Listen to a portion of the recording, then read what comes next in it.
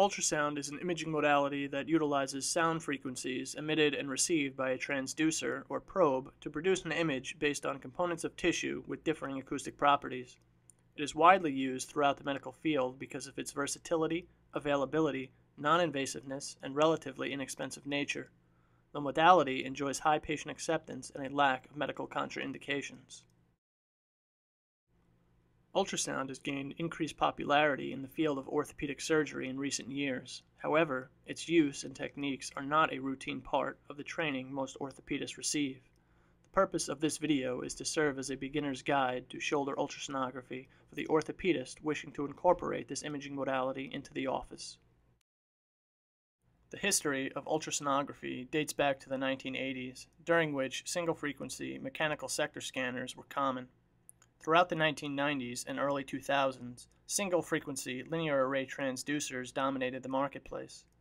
At present, with improved technological advances, high-frequency linear array transducers with broad bandwidth frequency capability from 5 to 13 MHz are the standard. There are a variety of ultrasound machines and manufacturers on the market, but all have similar features and key components. Most of the units are compact in size. They are portable and designed like laptop computers. The keyboard is very user-friendly and has multiple functional input keys. A variety of transducers or probes can be paired with each machine depending on which anatomical region is being imaged. Optional foot pedals allow the user to perform scans without manual input. Training courses are limited and not readily available. They're typically driven by the device manufacturer and offered only a few times per year. They can also be costly and time-consuming to attend.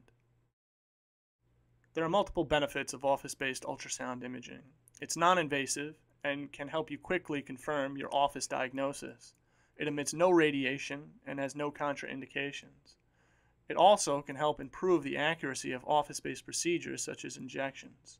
Finally, it improves patient care and helps foster the doctor-patient relationship. Ultrasound can be easily integrated into the physical examination of a patient in the office. The patient should wear a gown in a way that allows circumferential exposure of the shoulder. The patient should be seated, preferably on a swivel or rolling stool, to allow for easy position changes.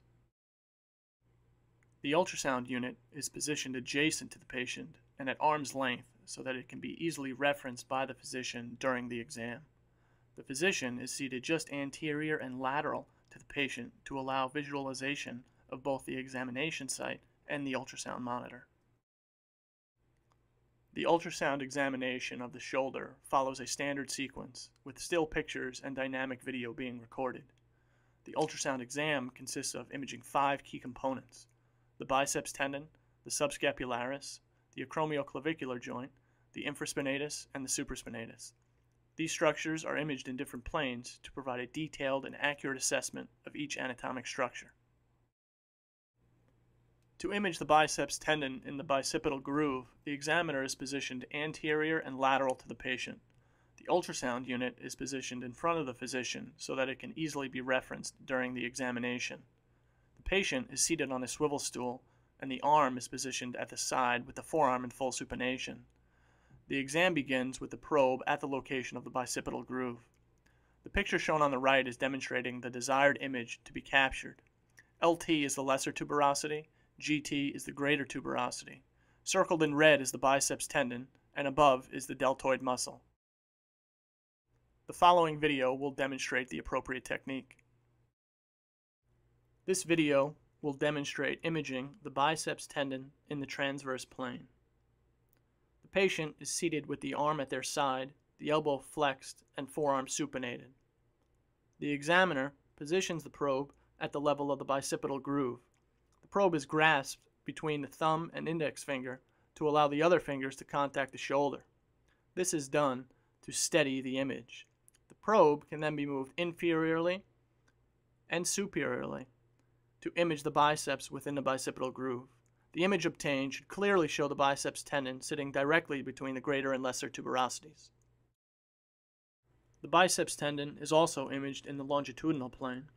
This is performed by simply a 90 degree rotation of the examiner's probe as seen in the picture on the left. This produces a longitudinal image of the biceps tendon. The biceps tendon, as demarcated by the red arrow, sits clearly between the humerus and the deltoid muscle. Following video will demonstrate the appropriate technique. To image the biceps in the longitudinal plane, the probe is rotated 90 degrees. This produces a longitudinal view of the biceps tendon as it lays in the bicipital groove. The probe is kept at the level of the bicipital groove and is steadied with contact of the middle, ring, and small fingers to the shoulder. The image obtained should clearly demonstrate the biceps tendon between the humerus and overlying deltoid muscle. The next structure to image is the subscapularis tendon, which is seen here in the longitudinal plane. To image this structure, the patient again is seated with the arm at the side. In order to view the subscapularis tendon, the patient's arm is externally rotated. The position of the probe is at the level of the bicipital groove. The subscapularis tendon is demarcated by the red arrow and is seen inserting on the lesser tuberosity. The overlying deltoid muscle can also be seen. The following video will demonstrate the appropriate technique. This video will demonstrate imaging of the subscapularis tendon in the longitudinal plane. In order to image the subscapularis tendon, the probe is positioned at the level of the bicipital groove. The patient is seated with the elbow flexed and forearm supinated. In order to image the tendon, the arm is slightly externally rotated. This brings the tendon into view. This close-up view again demonstrates the important concept of using the middle, ring, and small fingers to steady the probe to obtain the appropriate image. The biceps tendon is the circular structure located between the greater and lesser tuberosities. External rotation of the arm then brings the subscapularis tendon into full view as seen here. Subscapularis tendon is also imaged in the transverse plane as seen in the picture on the right, demarcated by the red arrow. The following video will demonstrate the appropriate technique. In order to image the subscapularis tendon in the transverse plane, the probe is simply rotated 90 degrees. This close-up video shows how the probe can easily be transitioned from one image plane to the other with a simple turn of the wrist. The probe can then be moved laterally and back medially in order to image the entire subscapularis tendon. The AC joint is the next structure to be imaged. This is done in the coronal plane. You can see here the patient is positioned with the arm at the side, again with the elbow flexed and forearm fully supinated. Be sure to apply an adequate amount of ultrasound gel to the probe prior to obtaining the image. The probe is held directly above the AC joint to produce the image seen on the right. The AC joint is demarcated by the red arrow. The infraspinatus tendon is the next structure to be imaged. This is done in the longitudinal plane. To image the infraspinatus tendon, the patient is rotated slightly on the swivel stool to allow access to the posterolateral aspect of the shoulder. The image obtained should be similar to the one on the right-hand side of the screen. The infraspinatus is demarcated by the red arrow. To image the infraspinatus tendon in the longitudinal plane, again the patient is rotated slightly on the swivel stool to allow access to the posterolateral aspect of the shoulder. The patient's arm is positioned across the chest and the probe is again positioned just slightly posterior and lateral to the shoulder. The infraspinatus is then imaged in the transverse plane. Again, this is done with just a slight rotation of the patient on the swivel stool and a 90 degree orientation of the probe. This will produce the image seen on the right hand side of the screen. The infraspinatus is demarcated by the red arrow. A tear would be recognized as a dark or hypoechoic region within the tendon substance both partial and full thickness tears can be detected.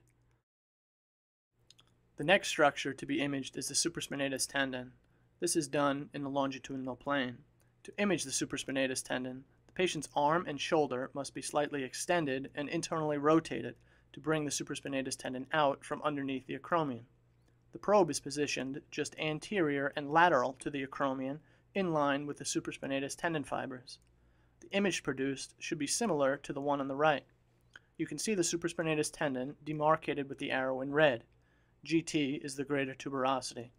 You can see the supraspinatus tendon coming over the humeral head and inserting on the greater tuberosity. The following video will demonstrate the appropriate technique. To image the supraspinatus tendon in the longitudinal plane, the patient's arm is taken off the shoulder and placed behind the back to allow extension and internal rotation of the shoulder. The probe is positioned on the anterior aspect of the shoulder, just slightly lateral to the acromion, so that it is in line with the fibers of the supraspinatus tendon. The image produced should clearly show the supraspinatus tendon inserting on the greater tuberosity. The supraspinatus tendon is also imaged in the transverse plane. This is done with a simple 90 degree rotation of the probe. The patient is seated in the same position with the arm and shoulder extended and internally rotated. The supraspinatus tendon is demarcated by the red arrow. Ultrasound can also be used to test dynamically for impingement. Probe is placed on the lateral aspect of the acromion. The examiner can then grasp the patient's arm at the wrist and abduct in order to demonstrate the rotator cuff gliding underneath the acromion. This close-up view again shows abduction and adduction of the shoulder. On the ultrasound view, we can see the supraspinatus tendon gliding underneath the acromion. Office-based ultrasonography can provide a rapid, accurate assessment of rotator cuff integrity. A recent study by Iannotti and colleagues correlated ultrasound images with results of MRI and operative findings in 98 patients. Ultrasonography led to the correct diagnosis in 37 of 42 shoulders with full thickness rotator cuff tears. Similarly, in a study of 68 patients by Cullen and colleagues, ultrasound showed a sensitivity of 89% and a specificity of 100% for full thickness tears, and a sensitivity of 79% and a specificity of 94% for partial thickness tears. However, specialized orthopedic surgeons with limited ultrasound experience may be less accurate in diagnosing rotator cuff pathology than what is reported in previous studies. A recent prospective study was performed at our institution to examine the diagnostic accuracy of two independent orthopedists performing office based ultrasonography of the shoulder. The orthopedist, who had no prior experience with ultrasound, attended a four hour hands on workshop led by a musculoskeletal radiologist. The orthopedist then began to perform ultrasound exams in the office on patients presenting with symptoms of rotator cuff pathology. The patients were diagnosed as having either an intact cuff, a partial tear, or a full thickness rotator cuff tear. After scanning 70 patients, the results were reviewed and the data generated showed universally lower accuracy rates, sensitivities, and specificities when compared to MRI.